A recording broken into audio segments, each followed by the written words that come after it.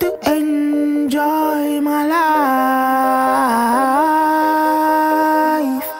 A Dominique. I'ma put on my watch, I'ma put on my shoes.